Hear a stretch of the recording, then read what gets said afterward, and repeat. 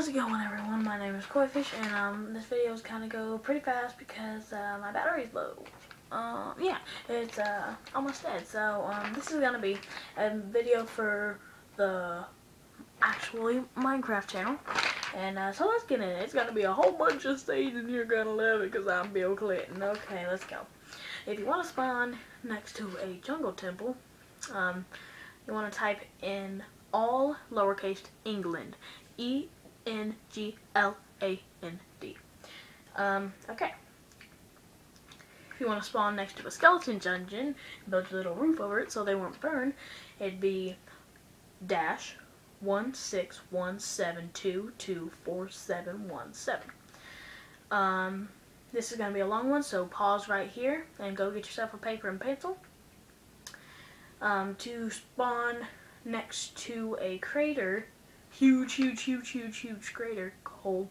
It'd be dash, or no, it wouldn't be dash. It'd be eight seven zero zero eight two nine three four oh nine five nine eight four three one three zero.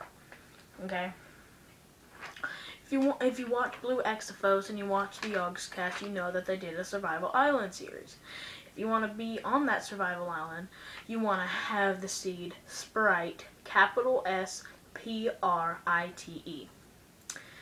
Um, if you want a island, spawn on an island with a village, it'd be six four four three zero nine four six six. If you want um, a survival island on steroids, it's a huge survival island, it would be Artomix. A capital A R T O M I X. And if you want a spawn and swim or die, um, you have to build it on your own. It's a whole water world. It would be um, glorious, all caps, G L O R I O U S. So I hope you guys enjoyed this seed video. I hope they bring uh, a lot of help to you guys. Um, subscribe to become a member of the TBDC MCPC today. And my battery's to die in about five seconds. So I'll, I'll see you guys later. And uh, I'll see you guys later. And I'm, don't forget I'm Bill Clinton. You know who it is. I'll see you guys later. Don't forget to like and favorite and subscribe. I'll see you guys later. It's Koi Fish. Oh. Can't forget Bill Clinton.